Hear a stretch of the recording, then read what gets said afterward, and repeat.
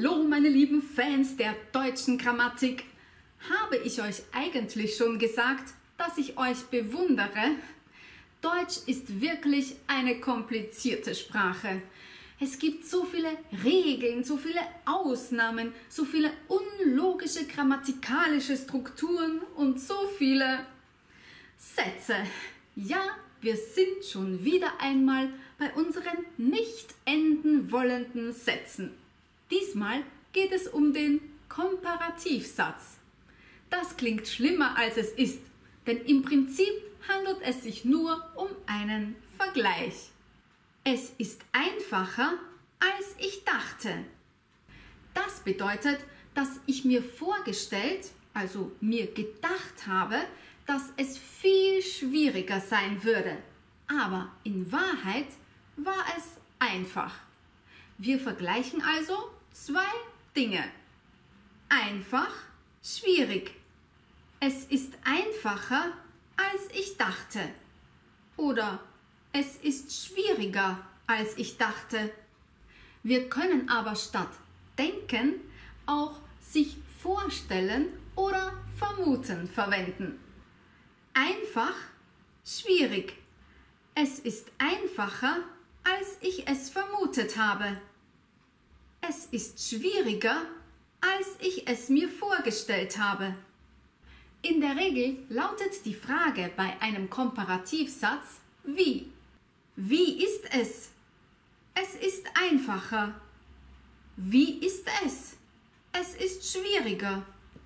Es gibt zwei Arten von Komparativsätzen, den realen Komparativsatz und den irrealen Komparativsatz. Warum muss es zwei Arten geben? Wo ist der Unterschied? Wieso müssen wir das lernen? Können wir nicht lieber schwimmen gehen? Nein, können wir nicht. Los geht's. Realer Komparativsatz. Er muss genauso viel lernen wie alle anderen Schüler. Hauptsatz. Er muss genauso viel lernen. Nebensatz. Wie alle anderen Schüler. Ihr seht, der Hauptsatz steht am Anfang und der Nebensatz am Ende.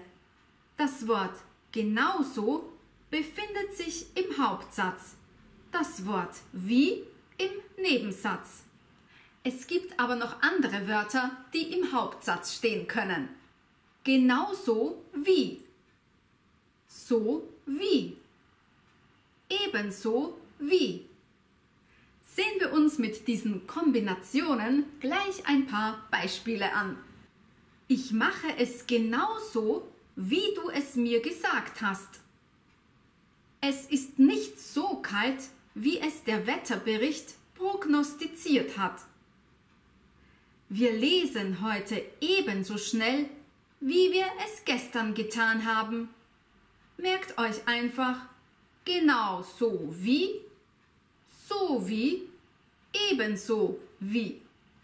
Eine andere Form des Komparativsatzes ist die Verwendung von als im Nebensatz.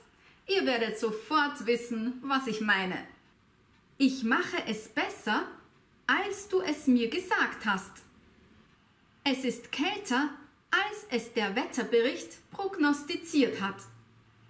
Wir lesen heute schneller, als wir es gestern getan haben. Hier merken wir uns die Steigerungsformen. Besser als, kälter als, schneller als. Wir fassen kurz zusammen. Der reale Komparativsatz ist ein Vergleich, der den Tatsachen, also der Realität entspricht. Der irreale Komparativsatz ist eine Art Hypothese, also irreal. Ihr seht mich an, als ob ihr mich nicht verstehen würdet. Das ist ein irrealer Komparativsatz und wir verwenden den Konjunktiv 2. Aber natürlich versteht ihr alles, was ich sage. Kurze Pause. Hm, Schluss? Nein, jetzt kommt der irreale Komparativsatz. Irrealer Komparativsatz. Ihr seht mich an, als ob ihr mich nicht verstehen würdet. Hauptsatz, ihr seht mich an. Nebensatz, als ob ihr mich nicht verstehen würdet. Auch hier steht wieder der Hauptsatz am Anfang und der Nebensatz am Ende. Die Konjunktion als ob befindet sich im Nebensatz. Wir merken uns jetzt einfach die folgenden zwei Kombinationen. Als ob, seltener als wenn. Als. Er hat mich angesehen, als ob er nichts getan hätte. Du siehst aus, als wärst du gerade aufgestanden. Den irrealen Komparativsatz verwendet man oft, wenn es um Gefühle oder Eindrücke geht. Wie fühlt ihr euch? Ich fühle mich, als ob mich ein Zug überfahren hätte. Natürlich bin ich nicht vom Zug überfahren worden, aber ich fühle mich, als ob mich ein Zug überfahren hätte. Naja, so schlecht fühle ich mich nun auch wieder nicht. Üben wir ein paar kurze Mini-Dialoge. Ich habe dich gestern dreimal angerufen. Mich? Wann? Echt? Tu nicht so, als ob du nicht genau wüsstest, dass ich dich dreimal angerufen habe. Erinnerst du dich noch an unseren Urlaub vor drei Jahren? Ja, es kommt mir vor, als wäre es gestern gewesen. Wie schnell doch die Zeit vergeht. Stimmt, die Zeit vergeht wirklich wie im Flug. Aber ein paar Sätze können wir noch machen. Toni hat mich gestern nach Hause gebracht. Tatsächlich? Ja, das war total süß von ihm. Das klingt, als wärst du in ihn verliebt. Äh, nein, wir sind nur Freunde.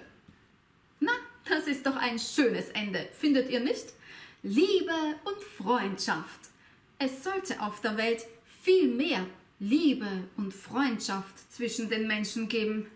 Wir gehören alle zusammen, egal aus welchem Land wir kommen und egal wo wir leben.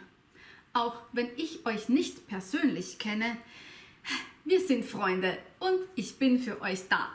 Ich wünsche euch noch viel Glück, Freude und Erfolg bei allem, was ihr tut. Bis zum nächsten Mal. Tschüss, Baba und ciao.